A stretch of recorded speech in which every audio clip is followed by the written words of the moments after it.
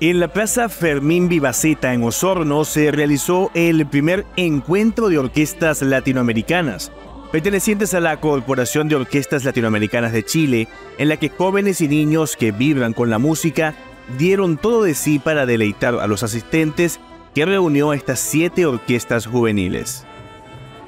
Estas orquestas no solo brindan formación musical a los jóvenes, sino que también les ofrecen la oportunidad de explorar y tocar música latinoamericana, contribuyendo así a la difusión y apreciación de este género en el país.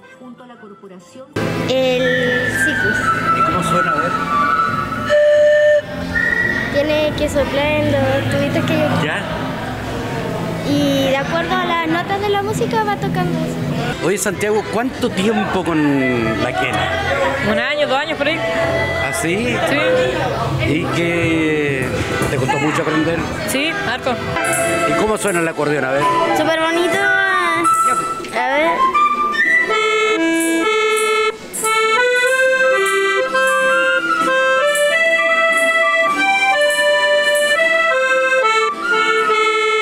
Eh, Yo vine acá a acompañar a, a- a mi orquesta porque pronto el otro mes, de hecho, voy a salir. Voy a estar en primero medio. Y podría mandarle un saludo a alguien. Un saludo, un saludo a, toda mi familia, a mi mamá, a mi hermano y a mi hermana. Y a mis perritos. Espero que estén. Por supuesto que hay futuro, hay tremendos músicos acá presentes, ¿no?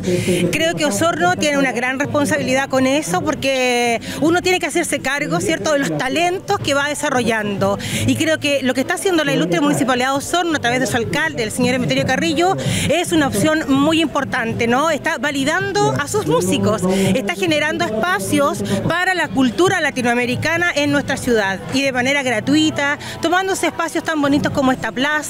Em, Se está haciendo un trabajo muy importante acá en Osorno en relación a la formación de niños, niñas y jóvenes y creo que es una muy buena oportunidad para dar a conocer a la ciudadanía, ¿no es cierto?, estos espacios de que puedan ver cómo se está sembrando en esta hermosa ciudad y también cómo en un tiempo no muy lejano, ¿no es cierto?, se van a ir cosechando grandes frutos de todo lo que está pasando acá en Osorno. En torno a la música están pasando cosas muy hermosas de Osorno. Como hitos que marcan fue la formación de la Orquesta Filarmónica de Osorno, en una instancia que le hace bien a la ciudad, cuando los niños jóvenes, a través del arte y la música, llenan de orgullo a la población y muestran que hay un horizonte pleno de éxito y de personas excepcionales.